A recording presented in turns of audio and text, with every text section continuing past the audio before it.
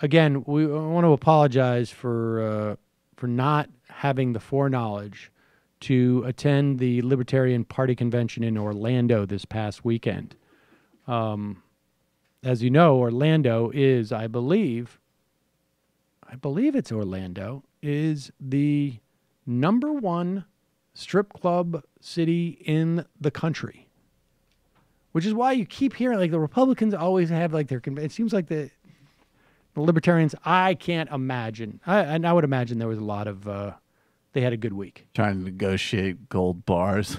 But but I think what you're about to see is a bit of a coincidence. Uh, but who knows? Maybe libertarian James Week, uh, Weeks, I should say, as he, um, I guess, attempted to. I don't know if this was in lieu of a speech for his uh, race to it's be It's a concession speech of sorts. Oh, libertarian. Oh, was it a party chair? It was a concession speech. So he had already lost the election.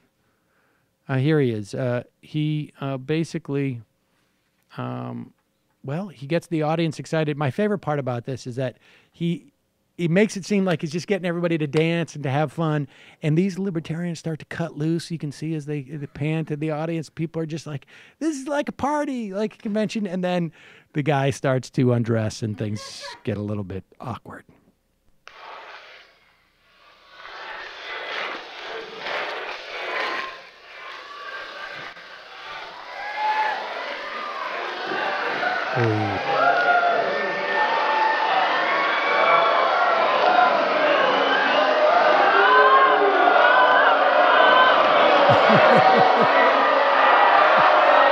They realize what's going on.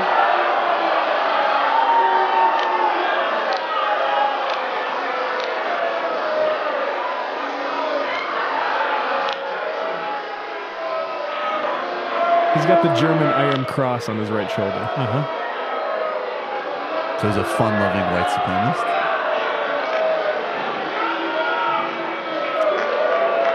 It's just graphically really appealing.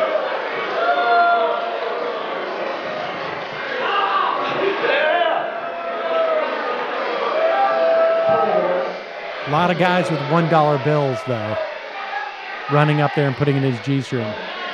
And people thinking this was a bad idea and we shouldn't have done this. This isn't helping us look more sane and credible. Hold on. There's a problem with my voice. I can't really be heard that well. Uh, they're not happy.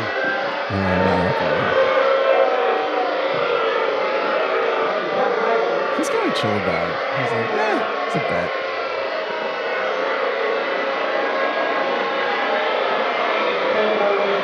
C-SPAN is taking the cameras off of him. Wasn't it a dare or something? That's why he did it? Yeah. Sorry, it was a dare. I'm going to go ahead and drop out. You're making an ass of yourself. Anybody got any nerve to throw him out? Idiot.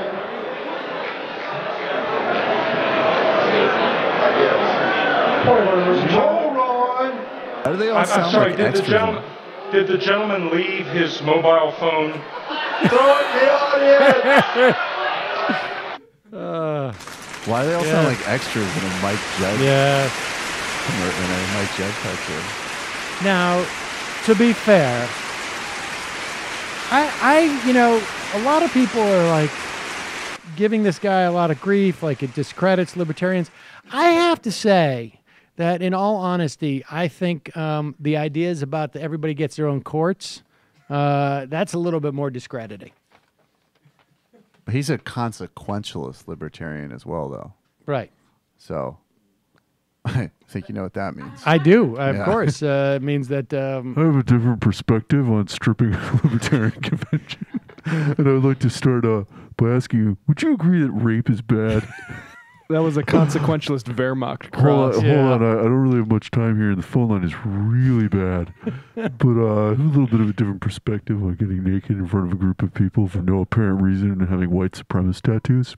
Uh, it all that starts with if you were in Uh, prison. Dude, I think you can take a look at that guy and see that he cares about things like uh, design and aesthetics, and uh, that's what that that's what that uh, t- tattoo is about. Hello, you. I'm Sam Seder. Looking for smart progressive talk that is occasionally amusing? Well, subscribe to our YouTube feed, subscribe to our podcast, like us on Facebook, and just generally enjoy us.